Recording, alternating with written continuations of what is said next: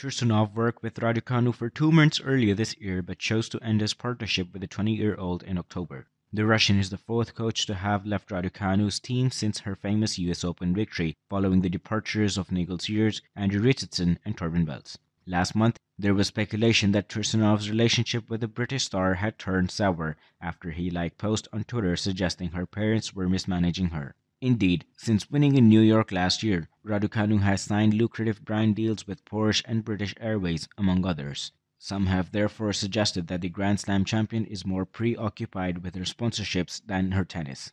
However, Tursunov has now put to bed these rumors and clarified that he still holds a lot of respect for Raducanu. Speaking to Sportskeeda, Tursunov lauded the Brit's professionalism and attitude. I did not see or feel that there were a lot of outside things going on, he said. From the time that we started, Emma just really had her nose to the ground. She was very hard working, and I did not see her skip a lot of things. There was no aura of diva or superstar about her, and I think she has been managing that part very well. He added, I was super impressed with her, and I couldn't be happier with the way she is a professional athlete. If you like my videos, then make sure you hit the subscribe button down there and press the bell icon for more awesome videos like these.